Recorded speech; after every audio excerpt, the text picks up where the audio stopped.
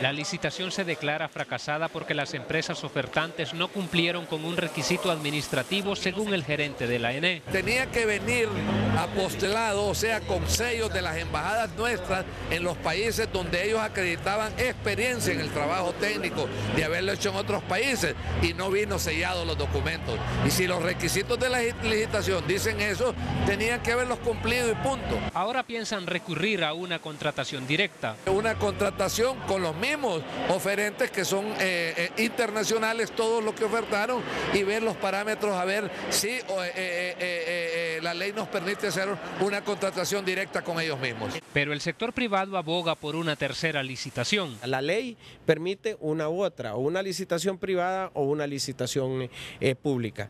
En ningún momento la ley contempla en este momento, en este paso, que se pueda hacer una contratación directa. Según este empresario, las contrataciones directas no son convenientes. Lo lógico es que hay una licitación y que las personas que están licitando, que, que ganen, que se lo den. Yo no veo por qué tardan tanto tiempo en hacerlo. De todas maneras hay que repararlo, pero a mí me gustaría que fuera por licitación mejor porque lo demás deja algunas dudas. Este exgerente de la ENE reconoce la urgencia de reparar los daños, pero bajo un proceso transparente. Que cumpla con las, con las garantías que, que se, se, solicitan, que tenga las compañías que participen en los antecedentes para poder ejecutar este tipo de obras.